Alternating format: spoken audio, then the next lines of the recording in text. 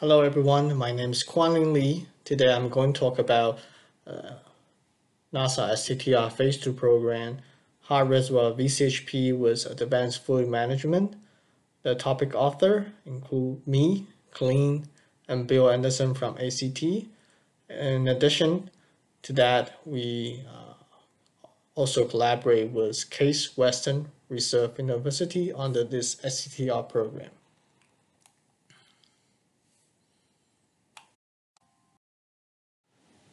In order to handle um, big temperature swing uh, on the moon surface, um, there's a need to develop a variable thermal link with a high turn-down ratio connecting between the payload and the radiator. During the lunar date, um, you want this uh, thermal link to be as effective as possible so that radiator panels can be uh, minimized. Um, but during the lunar night, the thermal resistance for this uh, uh, thermal link must be as high as possible so that the payload temperature can be maintained using the minimum survival power. One of the technology being considered here is the hot reservoir VCHP. A standard uh, VCHP with a cold bias reservoir shown in this figure um, has a, a, reservoir connected at the end of condenser. And typically, if you want to maintain the evaporator temperature uh, within one or two degree, um, you will need to provide uh, one or two watt of electrical power. Uh, for 14 days of lunar night, um, one watts of electricity um, equal to around 5 kilogram of mass penalty to the systems. On the other hand, the hot reservoir VCHP uh, shown in the left-hand side schematic um, has a reservoir um, located near the evaporator and its temperature follows the payload temperature instead of the sink temperature. Uh, with this configuration, um, this can provide much, much tighter thermal control capability than the conventional cold bias reservoir VCHP. And um, it can minimize or even uh, eliminate the need of survival power to keep the uh, reservoir warm during the 40 day of lunar night so they can save significant amount of, uh, uh of mass for the systems. The figure on the right is the uh, ground testing data, shows the tightness of the uh, warm reservoir VCHP uh, tested uh, in ACT. However, uh, there's a fluid management challenge associated with uh, hot reservoir VCHP. It was identified in 2017 during the ISS test of the hot reservoir VCHP as a part of APT-X experiment um, the uh, working fluid uh, actually accidentally uh, enters the reservoir and push out all the non-condensable gas to the heat pipe section. Um, and uh, at that uh, period, we start purging the VCHP. Uh, this is a process to remove excessive moisture from the reservoir and we hope that the NCG will flow back to the uh, reservoir through diffusion. And this is a really long, lengthy process. Um, um, so we identify this is the biggest challenge for the hot reservoir VCHP for future space application.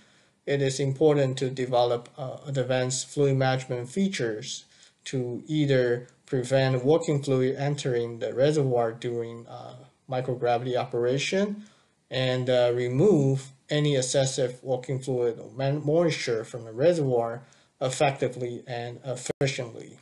So that is the objective of this STTR program. During the phase one, we develop a concept showing on the left-hand side is the loop configuration.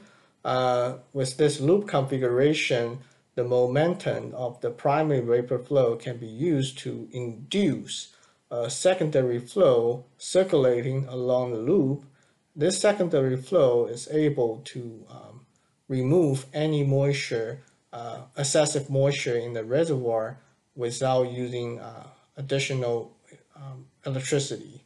And um, this process is much, much faster than the diffusion-based um, purging process.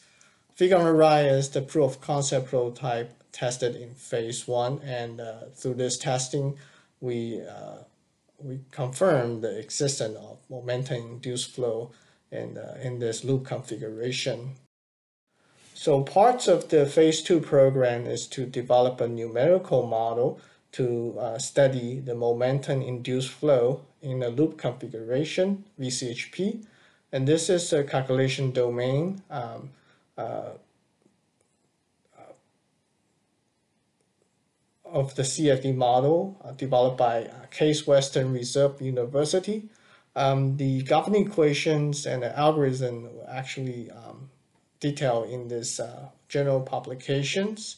Um, the output for their simulation is the pressure, temperature, and concentration distribution in the heat pipe section.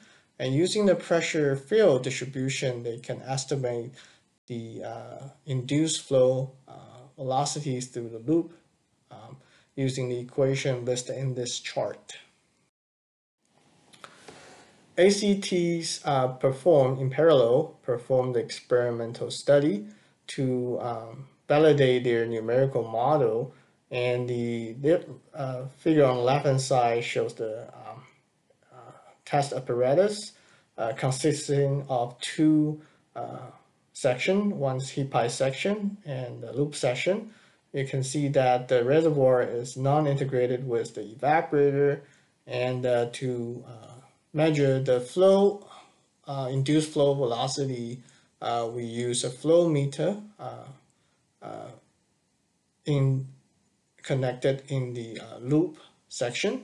Um, the heat pipe, the internal NCG tube uh, is swappable in this uh, test apparatus so that we can study uh, different internal uh, tube design and their influence to the momentum induced flow uh, within loop. This chart here shows two different uh, NCG tube design tested by this apparatus. Um, the design number one um, shown on top has a two section uh, one is uh, quarter inch tubing and uh, one eighth tubing. Um, the major difference between design number one and design number two is the length of the um, one eighth uh, section. Um, design number one, the exit of uh, NCG tube is in the condenser, and design number two, the access in the diabatic section. Here is the uh, test data for the loop VCHP using the NCG tube design number one. Figure on the left is the pressure and temperature um, variation. And the right hand side figure is the corresponding uh, flow meter output. Um, the black line on the right hand side figure is the flow velocity converted from the uh, voltage. Um, in this test, we apply initially apply 150 watts of heat to the heat pipe section, and the corresponding uh, flow velocity being measured is about 0.22 centimeter per second. And uh, when we reduce the power from 150 to uh, 1.105 watts, the flow velocity actually increased um, from 0.22 to 0.3 centimeter per second. And uh, in this test is is a is a loop VCHP using the uh, internal NCG tube number two. Uh, remember this uh, NCG tube is shorter and the outlet of tube is in the adiabatic sections. Again, uh, we apply power from 50 watts to 140 watts. Um, you can see from right hand side the uh, induced flow velocity actually higher than the design number one. Uh, with 140 watts of heat input, uh, we can get around 0.5 centimeter per second of flow velocity. Um, and this chart shows the comparison between experimental data and a numerical model uh, result, modeling results from uh, Case Western Reserve University. Uh, the black dot is uh, test data, and the um, white dot are the CFD analysis results. Um, you can see um, they basically match.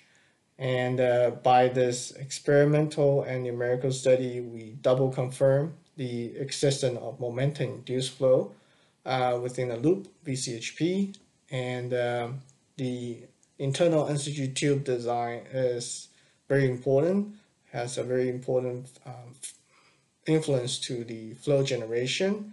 We also find that uh, keeping the NCG tube outlet away from the condenser actually help to uh, generate more flow um, in loop. This can be explained by the vortex generation behind the NCG tube uh, as the schematic shows in the left hand side uh, when there's a flow, um, vapor flow going through the outlet of uh, internal NCG tube uh, because of the expansion of the uh, flow area as well as vapor concentration, uh, condensation, the vapor flow um, will decelerate and generate a vortex at the outlet of NCG tube. That vortex um, will actually discourage the development of momentum-induced flow. So when we um, keep the outlet away from the condenser, the uh, deceleration of uh, vapor flow will be uh, milder, and that will be helpful to uh, reduce the size of the vortex. Uh, right-hand side figure is the uh, CFD analysis, the flow contour calculated by Case Western Reserve University. The streamline also shows there will be a, a, back vortex generated at the outlet NCG tube. So um, this is STTR program uh, phase two. We are still trying to develop uh, different NCG tube configuration. They can uh, maximize the momentum induced flow and uh, through this experimental and CFD analysis so far, we confirmed that the momentum-induced flow can be generated within the loop VCHP. And uh, we also found that uh, NCG tube design, location, and geometry uh, is very important to the flow generation. Uh, with 0.5 centimeter uh, per second of flow, velocity, we found um, through theoretical analysis that um, the purging rate can be significantly improved, and uh, which shown on the right hand side. Compared with diffusion base, the purging times can be uh, like 100 times or 200 times faster. The current state of this program is we are um, developing uh, integrated reservoir version and study the relationship between purging and uh, momentum-induced flow. Finally, I'd like to thank um, uh, Marshall, NASA Marshall Space Flight Center for their uh, funding support through Phase 1 and Phase 2 STTR program. We'd like to thank Program Manager uh, Jeff Farmer and Brian O'Connor for their uh, input to the program.